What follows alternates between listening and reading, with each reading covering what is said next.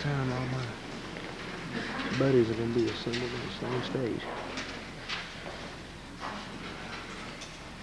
Kinda sad.